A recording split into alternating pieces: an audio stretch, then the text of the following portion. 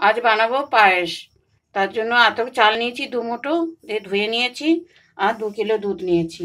এবার দুধটা গ্যাসে বসাবো। দুধটা হতে দেবো। দুধের মধ্যে ভেজানো চালগুলো দিয়ে দেবো। ধুয়ে রেখেছিলাম যেটা।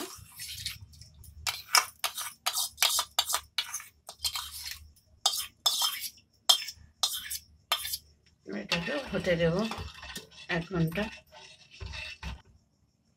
এবার এটাকে হতে দেবো এক ঘণ্টা।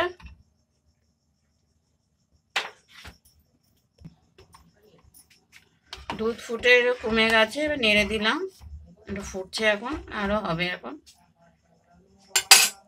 দুটো এলাইচি দিয়ে দেবো ভেঙে।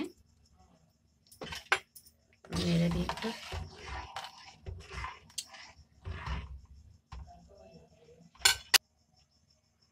আমাদের পায়েস এবার ফুটছে।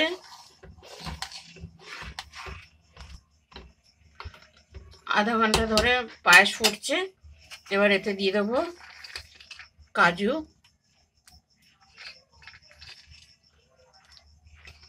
কিশমিশ দিয়ে দেবো।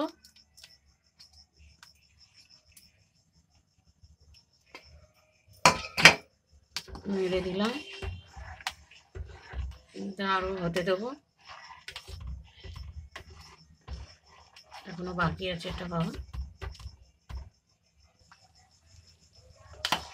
পায়েসটা এক ঘণ্টা ধরে ফুটছিল।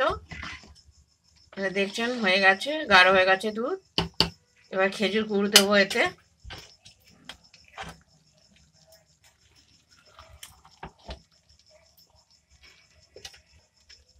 এবার খেজুর গুড় দেবো।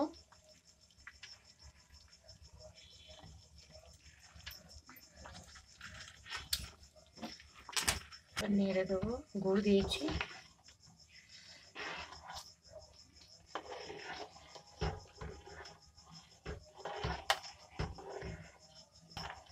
খেজুর গুড় দিয়ে দিয়েছি, এবার একটু নেড়ে দেবো।